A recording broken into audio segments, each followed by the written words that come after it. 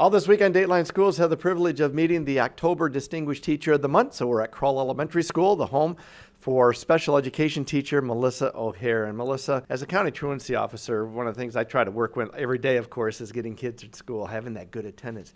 How do you work with your kids so that they're here every day and want to be here every day?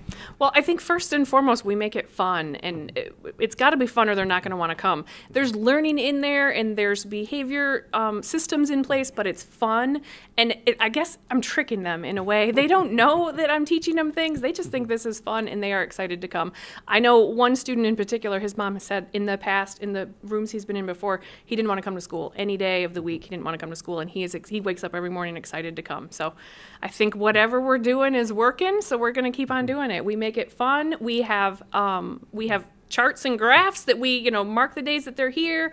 We encourage the building itself right now is doing um, an attendance challenge mm. that so every, and all the classrooms have their percentage of attendance mm-hmm. and the classrooms that have the highest percentage get awards at the end of the month. So they're working for that too. They're pretty excited about that and that's a class or that's a school-wide thing. Another thing too that was mentioned in your nomination was that you really work with the kids for building self confidence. And so, obviously, attendance and self confidence really go hand in hand. Oh, absolutely. And we're, we're working on their mindset. We're really trying to move the kids from a fixed mindset of, I can't do this, I'm not good enough, to a growth mindset that says, I can't do this yet. Mm-hmm. And I think that was a lot of the, some of the, the confidence issues come from that because they think, I don't want to go to school because I can't do this. I'm the kid that gets in trouble all the time. And now they come in here and they know, okay, I can't do this yet, or my, I'm not perfect yet. Well, I tell them I don't expect perfection anyways. I'm not perfect. I don't expect them to be perfect. But so that yet at the end of everything really seems to help them because they just know they're going to come back the next day and keep trying. That's one of those soft skills that we talk about that kids need to learn in schools that you may not realize that you really need to have. Absolutely. We'll be back with more tomorrow